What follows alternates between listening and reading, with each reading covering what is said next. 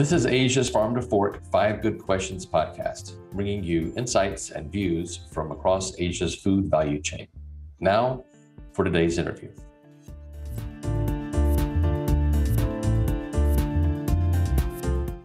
Hi, everybody. This is Duke Hip, host of Asia's Farm to Fork Five Good Questions podcast, and uh, we're beginning the uh, season two of the podcast today. We're very uh, excited about having uh, special guests with us to uh, to get things started. Joining us is Professor Salvador Catelo. He's with the Department of Agricultural and Applied Economics at the College of Economics and Management at the University of the Philippines in Los Baños, or uh, UPLB. Professor, how's it going? Hello, everything is okay. I'm fine. Thank you. How about you? All good. We're excited about having the the new season, and we're we're very excited about having you uh, help us get things started. So, if that's okay, we'll we'll jump right in, and, and I'll give you the first question. Maybe uh, get things started with a, tough subject, I'm talking about inflation and, and high food prices, which really are prevalent around the region and around the world, but particularly, I think it's fair to say in the Philippines. Uh, in a recent Philippines Food and Security Monitoring Report by the World Food Program, or FWFP it was noted that households in the Philippines are really most concerned about increasing food prices more than anything else. Not surprising, really, given how expensive everyday food items and items such as onions and so forth that have really risen in recent uh, in recent months. Question for you is this: Is the is the current spike in food prices reflective of a new normal in the Philippines and around the region, or do you think this is uh, something that will be seen come down in the in the weeks ahead and and uh, and really sort of stabilize? Okay, thank you uh, for that question. Yeah, you're right. Uh, I'm saying that this is a little bit tough. But before I respond to this question, allow me to set my uh, reference and departure points of discussions. Uh, generally, the increase in food prices in the past was a confluence of many factors that included COVID-19. We have this Russia's invasion of Ukraine, the after effects of economic stimulus, and the spillover effects of continuing marketing inefficiencies in the supply chain. Now, concerning COVID-19, it has practically affected the regional production and post-production operations, the flow and cost of transport, modality of distribution, and the structure and volume of demand. Actually, the pandemic has slowed down supply and has disrupted the regional and global supply chains as well the demand for commodities under the work from home and then this one home quarantine atmosphere was not matched correspondingly by production capacities. This in turn propelled demand pull inflationary effects. Moreover, because of the massive and disparaging socioeconomic effects of the pandemic, well, governments uh, were impelled to provide cash transfers that uh, are aimed to boost soft social safety nets, and uh, also to promote consumption. Economic stimulus packages were also resorted to in order to avert any further economic collapse. With more money in circulation, people essentially had more spending power over the limited consumer goods available in the market. This demonstrates another picture of inflationary effect. As the global economy started to recover from the pandemic, the invasion of Ukraine by Russia resulted to far-reaching economic consequences as financial markets tumbled and prices of oil surged. It must be recalled that Russia is considered as one of the largest suppliers of gas and oil in EU, while Ukraine is one of the producers of important agricultural products, such as cereals, we have wheat, corn, barley, and uh, sunflower oil. This suggests that the cramp in the supply of oil meant higher prices of oil and consequently higher production costs, more expensive transport costs, and consumer prices. On the other hand, the cut in Ukraine's production limited its supply to import-dependent countries. So uh, basically, the situation added pressure on the global oil and gas market, as well as on the food security of a number of importing countries that had been already debilitated by the COVID-19 pandemic. So I suppose the situation is another case of inflationary.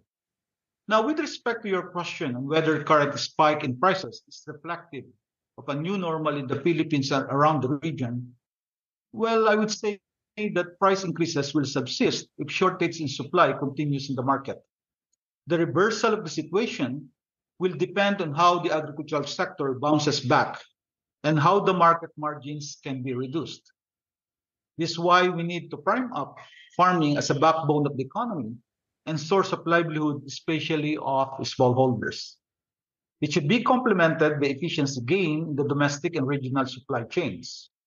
For the meantime, the provision of economic stimulus to protect the poor and sustain the livelihood of the farmers would be a good move.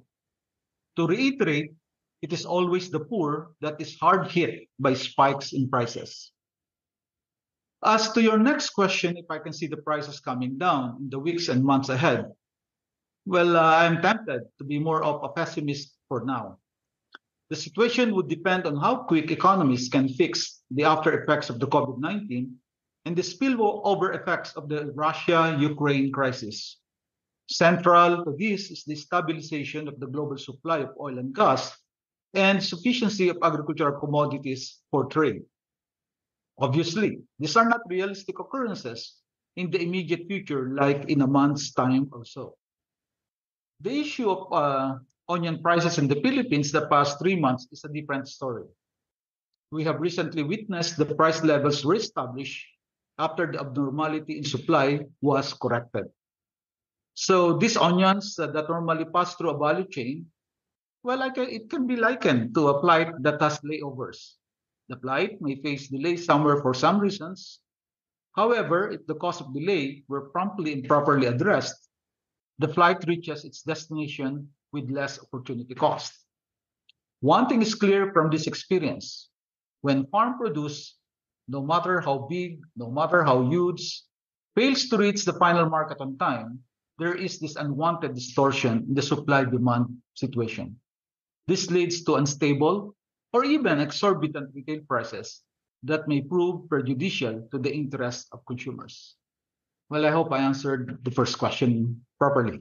Yeah, thanks, Professor Catelo. You absolutely did. That's a great answer and very thorough. And it, it got me thinking about uh, another aspect of this of this whole um, dilemma, and that is uh, the farmer. Right? We talk a lot in this show about the impact of farmers generally uh, around the food value chain, things that are happening, different dynamics. You mentioned COVID, you know, climate change, and the conflict in Europe in particular. And in the same report that we just mentioned from the WFP, it also noted that one in 10 Filipino households that are currently food insecure, um, it talks about uh, uh, those that are really most affected by this are coming from agricultural livelihoods uh, more more than others, more food insecure, unfortunately.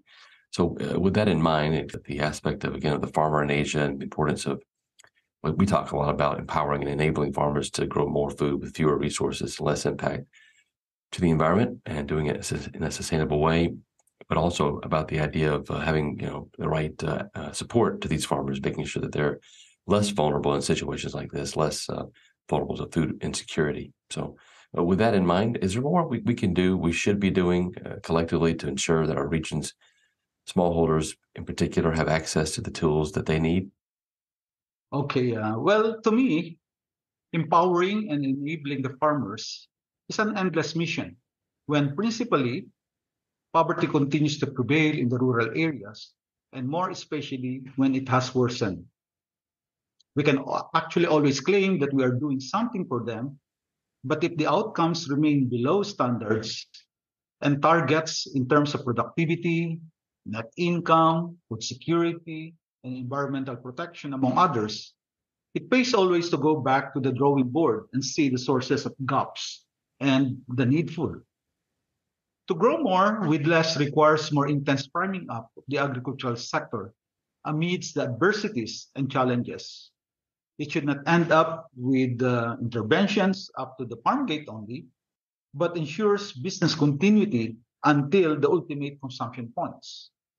We have witnessed scores of successes in farming, but uh, were later derailed by the absence or lack of effective strategies beyond the farm. Our steadfast resolve to transform agriculture into a competitive, food secure, resilient, and empowering sector must cover the entire spectrum of the value chain. Not only the usual tools like credit facilities or input provisions, but to uh, empower them also to develop and sustain themselves from the fruits of modernization and industrialization. Now, what is this modernization and industrialization? So, uh, well, when you speak of modernization, I take it from the viewpoint of uh, a call for more investments on infrastructure, promotion and effective adoption of site-specific technologies, continuous innovation, such as digital agriculture, climate change adaptation and mitigation measures, efficient marketing system, and functional and pro-farmer value chains.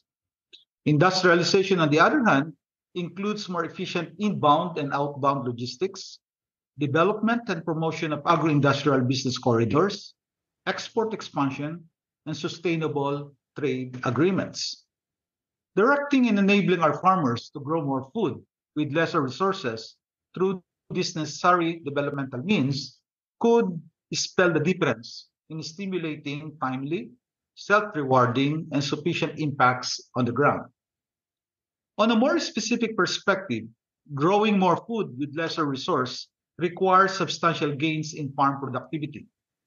Just to cite one example, the low yield levels in many farms have been attributed in more ways than one to inadequate nutrient application and soil nutrient mismanagement. Therefore, ensuring an adequate supply of fertilizer at reasonable prices, enabling farmers to gain more access to fertilizer, and uh, well, inducing higher and proper fertilizer application by farmers are requisites. Modern crop varieties are particularly known to be fertilizer responsive, but inadequate inappropriate use of fertilizer result in below potential farm yields and higher per unit cost. With optimal fertilization, the potential impact on yield of the recommended practices can be realized. Hence, scaling up and scaling out of management practices are highly recommended. Basic in all this is the adoption of climate smart agriculture and environment friendly technologies. Yeah, thanks, Professor. Very insightful again. And I'd like, if it's okay, we're moving through these this discussion, the, these questions. I'd like to stay on the, the topic of the farmer uh, because you, you give me a lot of things here, a lot of food for thought. No, no pun intended. As you know, um, our region is home to the smallest size farms and uh, the largest number of smallholders in the world. Smallholders are really at the center of everything we do with respect to food production. And for these growers, having access to market is important not only for trade but also for their own and their, their families' livelihoods. We just touched on how the we're seeing that that impact in, and not just in the Philippines, but it affects food security uh, for for the farmers themselves because of their you know the inter- interdependence on, uh, on on food production and and their role in that in that equation. So uh, specifically thinking about that and the impact of farmers with food security um, and their own livelihoods, what recommendations might you have for countries in the region um, in helping maintain and grow their competitiveness, access to market, that sense in the trade front, particularly in the area of agriculture, food export. Any any things come to mind as far as sort of recommendations or suggestions you might have to to countries in that that area? Uh, well, we know that small uh, smallholder farmers cannot engage in farming as intense and innovative as the heavily endowed commercial farmers. More so when we speak of competing with the giants in the industry. They remain needy of appropriate support from the government and the private sector via sound macroeconomic environment and institutional reforms. Areas of particular concern include the low capital. We can also speak of uh, the limited land, okay, for farming, and poorly functioning input and output markets. To help the smallholder farmers maintain or raise their competitiveness and access to market, we have to accept the reality that uh, we have to assist them to make the agriculture sector more profitable and better prepared for global competition. This means that we have to intensify the efforts to address the sources of inefficiencies along the production and marketing continuum and provide necessary support system. A structural shift out of low productivity agriculture to higher productivity and competitive market sector is imperative, I suppose. At the core of this challenge is the packaging and delivery of various credit assistance programs aimed at, among other things, easing farmers' access to input such, uh, such as fertilizer, seed, farm machinery, water pumps. We're dealing with the crop production, breeding stocks, feeds, veterinary services, and the like when we talk about livestock uh, farming. Farmers must be empowered as entrepreneurs with the aid of broadened access to support services. For instance, to uh, sustainably promote the development and adoption of agricultural technologies, synergies between government agencies, the research and development programs of academic institutions, farmer organizations, and private entities are essential. Central also are, um, well, uh, efforts to sustain the initiatives of building linkages between farmers and provide training extension services for them. For their produce to generate more and sustainable income, they should be mainstream in the agri value chains. I should reiterate that the gaps in infrastructure, particularly the road and rail connectivities, as well as in logistics and energy, are disruptive and disadvantageous. The absence of functional infrastructure results to significant post-harvest losses. It drives up, uh, well, the transaction cost, and uh, it also renders lower competitiveness. Last but not the least is the effort towards consolidation through cooperative development and promotion. I am a strong advocate of cooperative movement. Success stories speak a lot about the power of cooperative identity and integration. It has catalyzed synergy in purpose, collective membership that translates to enlarged manpower, stronger bargaining power, and more importantly, the sharing not only of resources, but of goods and services to all members as well. The unselfish nature of the coalition has become a pretty powerful instrument in terms of enter- expertise, rather, relationships, reputation, and performance, especially in times of the uh, uh, recent pandemic and the global adversities. In many cooperative integration efforts, innovation and digital transformation were imperative given the current and emerging technological innovations that uh, are taking place in banking and uh, commerce. This will help them adapt quickly to the changing external environment, enable the business climate, especially the micro and small cooperatives, and survive the highly uncertain and competitive market. So this is how I look at things based on that question. Thank you so much for that. And coming to uh, near the close, but one more one more question uh, of substance I'd really like to get into. And we talked previously about the drivers and food security and and um, or food insecurity. And one of the one of them that came up earlier was climate change. We touched on. I'd like to get into that a little bit deeper when it comes to climate change in the region. And uh, you don't need to be um, you know to be necessarily a, a climatologist or a scientist to to see the effects that are happening around the region particularly um, in Southeast Asia and the impact increased droughts and floods and and um, and the, and the impact that it's having with food production in particular. Specifically looking at the Philippines and across ASEAN, and given the, the, the global food crisis that we've seen as well that's been playing out, what are the opportunity costs for governments? And what's being lost for governments in the region that they don't implement climate adaptation and mitigation measures for farmers, specifically the introduction of seeds that can cope with adverse weather conditions, crop insurance, technology, et cetera what are what are the what are the threats and and again the opportunity opportunity cost what's going to be lost for governments if they don't take action to support farmers in some of these um, in some of these respects?